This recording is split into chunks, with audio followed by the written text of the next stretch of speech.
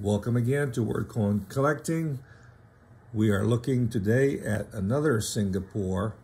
This one here is a 1974 $10 silver piece. Uh, this is NGC certified proof 67 ultra cameo. Very beautiful coin with mirror fields and frosty hawk.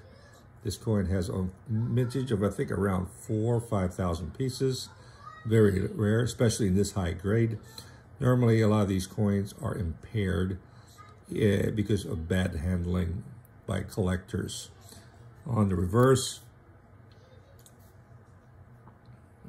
you have Singapore there with their symbols, 1974, very mirror and frosted device.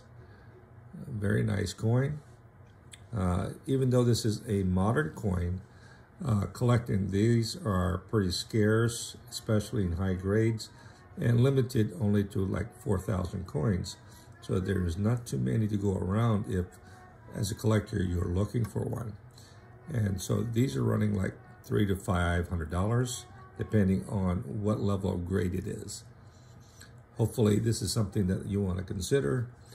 And if you like this information, Please subscribe to my channel and we'll have more coins to show you in the near future. Have a great day.